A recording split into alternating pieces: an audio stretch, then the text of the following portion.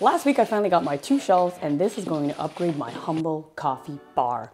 After measuring 18 times, having to run out to get a new drill bit, accepting that I'll have to drill a massive 5 8 inch of a hole because, you know, toggle bolts, I had it up and running and it looks amazing.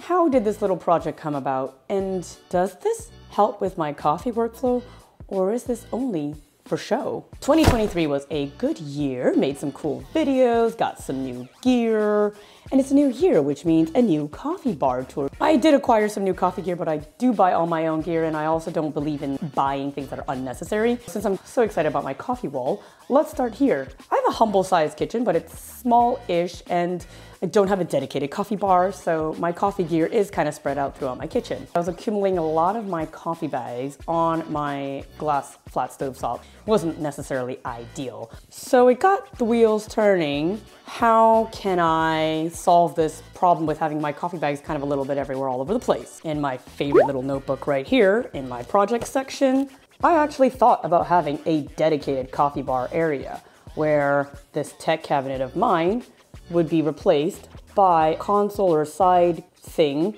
and putting all my coffee gear here. See, there are a couple problems with that. I have a nice tech gear here. I don't feel like I could have fit everything I needed in that. It would be further away from my kitchen, which would just kind of make it more annoying to refill water.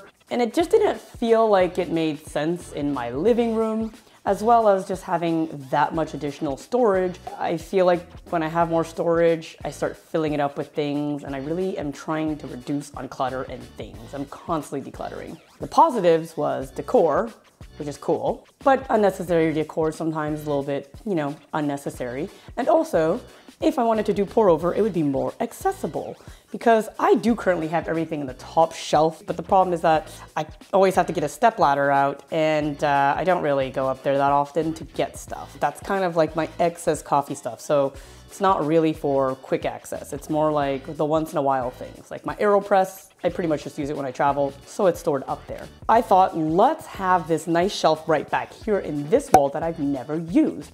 Now the problem is that this space right here is actually quite small, four inches deep. There's also this door handle on my fridge. It's eating up a bit more space. And surprisingly, finding one with a really shallow depth was really harder than I thought it would be. I could just take a moment right now to thank everybody that's been following me so far. If it's your first time here, welcome.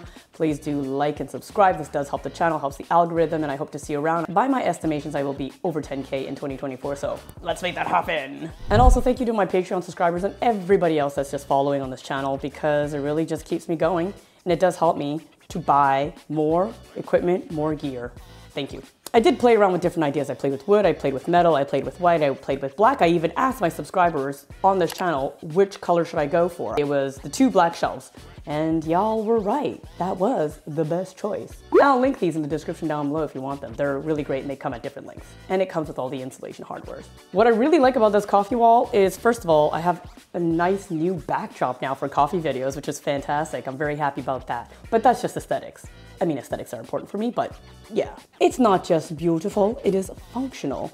First of all, it houses some extra coffee accessories and decor that I would normally not reach for. For example, my brewer's logbook, I haven't reached for that for a very long time, but I'm in a phase right now where I like having two, maybe three different coffees on rotation and being able to keep track of the different grind settings in a book would be helpful. I've been just doing them in a post-it, but I'm back to books.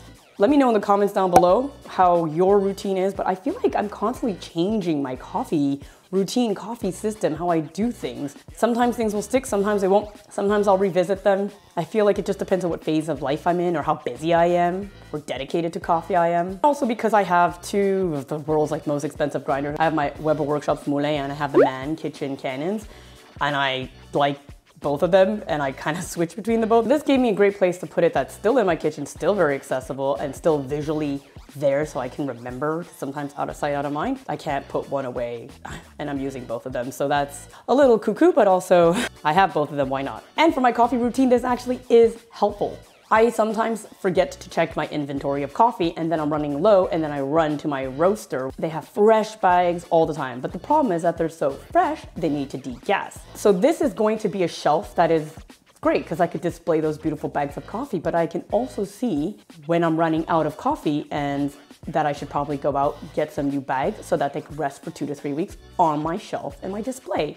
And I can just easily see what's going on in terms of my coffee inventory, or at least my fresh coffee inventory, so that hopefully I don't end up in scenarios where I'm like running out again. And originally, the art piece was gonna be the flavor coffee wheel. At that size, 8 by 10, it wasn't very big and you couldn't see the lines very well. I have a much more minimalist decor that I felt that the coffee flavor wheel was a little too visually busy. So what I did instead is I put it over here so that I can have quick, easy access to it around my coffee area. It would be more functional than it would be decorative. So there's my little thing about the coffee wall display. I hope you enjoyed that. Now, what has changed in my coffee bar? I've gotten rid of some stuff and I've acquired some new stuff, so let's see. In my kitchen on the left side, remains tamping section. The Weber Workshops key is still here, nothing has changed. I have my little coffee base here. I did acquire this Normcore WDT tool, which I do sometimes use, but not always. It really depends on if I feel the coffee is clumping and I need to declump. It comes with different size needles. You can adjust it. It's great. It's also magnetic, so you can stick it, you know, wherever it's magnetic. I do have a little humidity reader here for reference. This force tamper that I got, I really like. I, I did say this was my endgame tamper, but I don't know. I'm kind of in the mood to get another tamper, so we'll see where I stand with that. Then Lance Hedrick did a video too where this does lower the extraction yield by a tiny bit, but I do like that it was consistent. I haven't really noticed any negatives with it, so for now it stays, but you know what, who knows? Then over here, as I said, I will have two different coffees. Right now I just forgot to fill the back one, but these are single dose bean cellars that are way cheaper than the Weber Workshops and a CO2 valve. And I did do a little test where I basically blew in and blew out and nothing was going in, but air was coming out. So it does show that it is working in terms of like air being able to get out, but not air being able to get in. And I did go on a trip and I had coffee that was already two, three weeks old in here, went on a trip three weeks later, came back.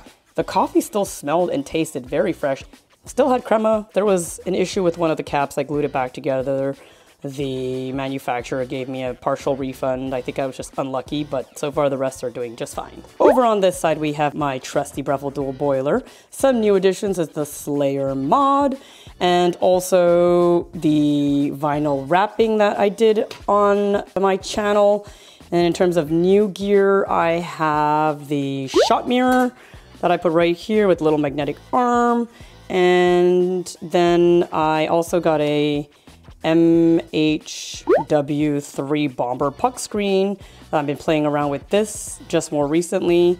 And also from that same brand, I got this coffee scale that I really like. Got rid of my other one, much slimmer, much smaller, much sleeker coffee scale from MHW3 Bomber, full review as well on my channel. And then on the side here, I stuck my Pallo brush, which I'm using every single day now just because once it's easy access, I use it. Get the coffee out of my bag. Then over here, I stuck a magnet on this. This and this go with my food saver bags. I have a video about how I store coffee and I've gone back to freezing coffee longer term. This is coffee that I already thought and need to actually put in the back row there. I love these bags. They work much better than the Sealvax bags that I was starting to struggle with getting a good seal. These work fantastic. The valve is pretty sturdy. I've not had any issues with so far. I also use it for other things. I use it for all sorts of dried goods in my fridge and freezer and it's so easy to use and it comes with this little vacuum sealer thingy and then you just get the air out. And now to my beautiful coffee wall. We got the decor, we got my brew book, we got a little mushroom cleaning thingy, my Mannkitchen grinders, some coffee bags, as well as hojicha powder and matcha powder because I just don't drink those enough, but I have them and I like it, but I just forget to drink them because they're in a drawer somewhere. And then my Arco hand grinder, but I usually use that just for traveling, but should I do pour over, it's there. And then up here, my excess coffee gear goes up there the extras that I don't really reach for very often, but Kalita Wave is here, my Vietnamese coffee filters there, moka pot, Some extra additional pieces are there. Yeah, that's where that lives. That's it for my Coffee Bar 2024.